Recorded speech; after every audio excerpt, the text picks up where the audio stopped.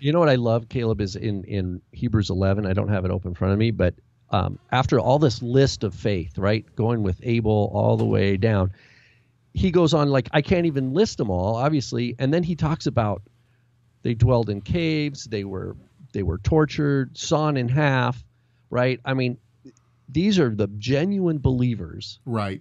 This is what their experience was. And he says, of whom, and it always stops me in my tracks, of whom the world was not worthy. Of whom the world was not worthy. What does that mean? Okay, so you go back to any of those any of those what we call heroes of the faith, right? Not that they're heroes in like a Marvel comic kind of way, but they were genuine people of God. They put their life on the line for their faith time and again when the system, the quote world, wanted to shape them to be something different. Just like he talks about Moses in Egypt, he said, "Forget the riches of Egypt." Right. He he he saw value, eternal value in in in identification with Messiah, right? So we don't have all the details of how uh, Moshe can understood Messiah.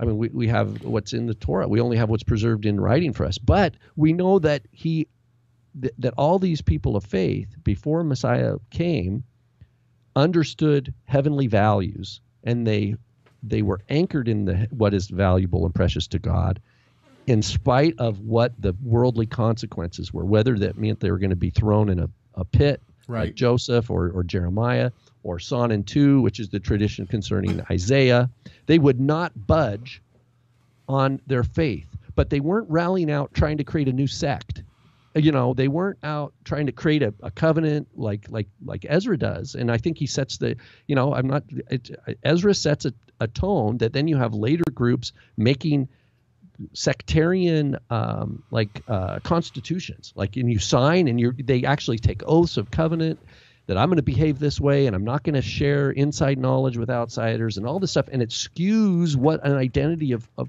god's people are paul is in galatians he's trying to pull the rug out from under people who are who are really confident about their worldly identity their, their and he's saying look you don't understand what Messiah is all about. You don't understand what faith is all about. You don't understand what Abraham, the person you're identifying with, and you're using his name, you don't understand what it's all about. And Paul's trying to shake them up really well so that they can, um, and then to to reaffirm who they are in Messiah, and to say this is the core.